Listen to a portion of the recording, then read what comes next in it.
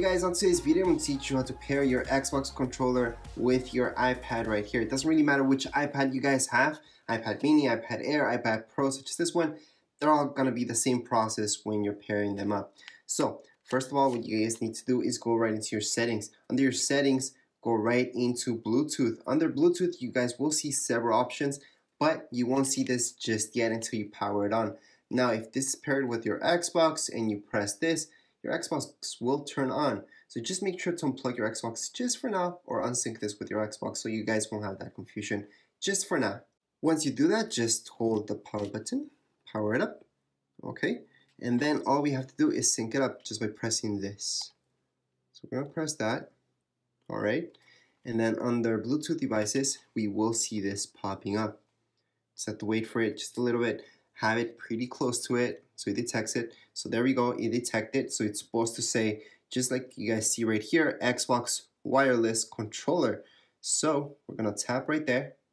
It's okay if you guys don't see it right away. It will pop up very soon and have your controller really close.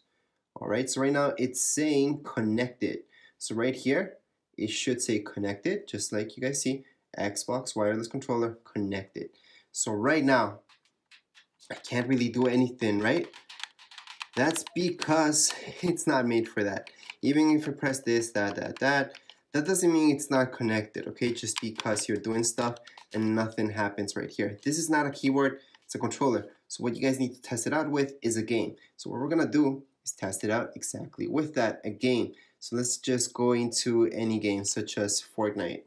So right now I'm in Fortnite, as you guys can see, I can control it using this and I can just press play and go ahead and play Fortnite.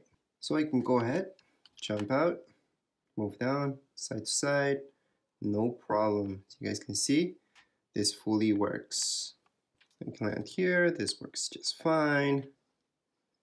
Yep, so it does fully work with Fortnite and actually a ton of games. So if you guys have um, Arcade, there's a bunch of games that actually require controller for your Apple TV if you guys have an Apple TV. If you guys have an iPad, then you don't require, well, they don't require a controller, but you know, controllers are always, always better to have. Much, much faster, much, much, much easier to actually get around and do all your thing.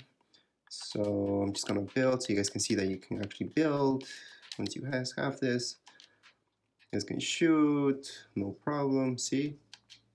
There's no problem, you guys can dig your way through things. So controller works, and it works without any lag from what I can see so far. So if you guys are thinking of getting controller just to play right here on your iPad or your iPhone, it's the same thing really, then yeah, Xbox controller will, will work just fine. Anyways, that would be it for this video tutorial. If you guys have any comments, questions, you guys can write down here in the comments area. And don't forget to subscribe and rate. Thank you.